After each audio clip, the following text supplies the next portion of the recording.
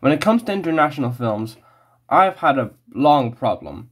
For most of my life, I've seen only American films, both animated and live action. Only recently I, have I gotten into foreign films. I've seen 28 Japanese films, 10 Irish films, and one Spanish, Korean, and French film. We're going to talk about that one French film, Taxi. Now, to make it clear, I never watched foreign films not because I was racist, but because I wasn't old enough. What I mean by that is that I never watch films. Uh, see, I, I always watch films with subtitles unless they don't have it, especially on a DVD. Uh, but I never watch foreign films because I wanted to hear the English audio as well as read the English subtitles, not just read the English subtitles and hear foreign audio. Like, I may be a self deprecating, self destructive, mean spirited, horrible, racist, greedy person, but I'm not racist. Wait. Taxi was released in 1998 and stars French people. What a shock. The surprising thing about it is that it doesn't take place in Paris. It takes place in. Uh, where does it take place? Uh, oh. French pronunciation. Uh, it takes place in. Marseille. Yeah, that. It was a lot easier to pronounce than I thought. So yeah, it takes place in Marseille. A French film that doesn't take place in Paris. Take us away! I actually think this is a very unique setting. It shows that there's a lot more to France than just Paris. Because everyone believes that France is just the city of Paris and the rest is just dead air. But enough about geography. What is this? School? School's over, and I'm talking about movies for the whole summer. I need a life. this is taxi. The film follows Daniel Morales, French uncle of Miles Morales, a talented driver who has recently gotten a job as a taxi driver, and with his and with this has his own custom built car that can transform into a race car if needed for ultra speed. A cop, uh, what's uh, what's his name? Um, oh, for crying out loud. Emilien Coutan Kerbelec. Yeah, that. Or something else. God damn it. Oh well, pronunciation isn't everything. I mean, it kind of is if you're on the internet. He's yeah, so this guy, Emilien, he's bad at driving and is currently involved with an operation to stop a German gang who keep robbing banks, and they're headed for Marseille. Emilien blackmails Daniel to drive him places to stop the gang in exchange that Emilien doesn't tell the police about Daniel's many broken road rules. Eventually, Emilien moves into Daniel's house, and this motivates Daniel to crack the case in order to get him out. However, the two become friends and become motivated to stop the robbers from enacting their crimes together.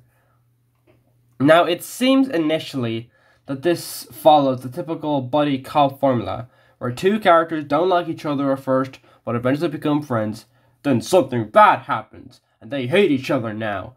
Because these mo- movies made for older audiences have plots for that are like kids' movies and stuff. But then they realize they have to work together to stop the real villains. You know, films like Rush Hour and um, Osmosis Jones.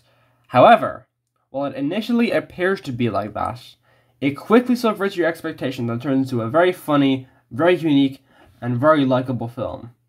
As seen in the description on Wikipedia, this is an action comedy film, and the comedy itself is delectable, as I would, as one would say. There are tons of witty, deadpan jokes as well as fun slapstick. The action is also very fun. I love chase movies, and this is definitely high up on that list. After all, Blues Brothers is my favorite movie. like I'd ever talk about that. There's just so many, so much stuff to say. I will never talk about that film, ever, ever. They take advantage of the city streets, and it's very quick to get behind, whatever that means. Seriously, I'm literally reading from the script, and I have no idea where I read that. I guess a bad time. Speaking, I I'm talking way too much. I've got to get to the point. But great action and comedy doesn't always work if the characters aren't interesting, which they are. Daniel and Emilien work really well off of each other and can lead to some of the funniest moments in the film. Sometimes you don't need to do do wacky sounds and stuff to be funny. Take notes, Adam Sandler. I think you should probably take take notes about this. That um, doing wacky sounds every time is, is not very funny. Uh, the other characters are also interesting and funny as well, although not as prominent. I think the good comedy and likability of the characters can come from the great acting. Oh god, more names. And these are some names, definitely. These are some wild names. Back to translate. Samy Naceri et Frédéric Diefenthal. Who play Daniel and Emilien respect, re- respect, respectively. Respectfully. Oh, what's the word? Respectively. There we go. Play their roles perfectly. However, if I had to have a criticism, and it took me long enough, you know, YouTube, always with that negativity, it would be that the other actors aren't as well directed. They're not bad, they're just not great. Other great things about this movie include the energetic music and the fast paced editing, which are both expertly done by their respective people. The first track in the film is very similar to the like the most famous track from Pulp Fiction. Uh, I'm not gonna say what it is because I genuinely don't remember. I didn't write it in the script. Also because uh, they're the exact same track and you can listen to them both just listen just by just searching up Taxi soundtrack. I'm not gonna link every everything I mentioned in the description. What am I, your dad? I'm not gonna do everything for you. Search it up. Go on, search it up. I'll give I'll give you a few minutes. I don't have a video to do? Ah, yes. uh, the cinematography isn't interesting, but it's still well done. My least favorite part of the film, and of most films for that matter, is the short sex scene in the middle. I'm gonna be really careful with this film, with with this uh, part. A common stereotype with French anything is that they're incredibly horny. I'm not all for stereotypes, but it's hard to ignore the fact that there's a blatant sex scene right smack dab in the middle of this. Otherwise, fantastic film. I'm not trying to sound like an old fart that doesn't like sex. Do it. I don't care. It's just that unless it's a romantic film or it's the focus of the film, it has no purpose of being there except to make the teenagers in the audience horny, which is dumb and stupid and dumb. Aside from that, fantastic film.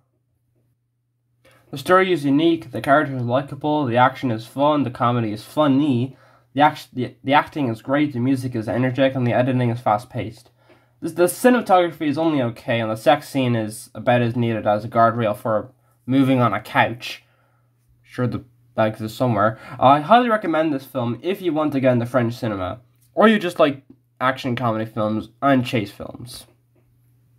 Now, I bet you're probably now wondering, why didn't you watch The Untouchables, the most well known French film? Well, I wanted to. In fact, I have it on DVD. Yeah, d- number 240 is a Spanish copy. Cop, number 240 is a Spanish copy of The Untouchables. And the reason I'm showing just some still image of this uh, that I can zoom into is that uh, I do have this on DVD, but I can't really show it because, uh, well, I, I would show, I would record it for you, but uh, I can't, I don't know if I can record during a screen record because that kind of would stop the recording. I'm not recording all this again. But look at this. This is the back cover. Let's look at the subtitles. Notice anything? No English. I don't know what Castellano is. This is a Spanish copy, but there's no English whatsoever. No, no English subtitles.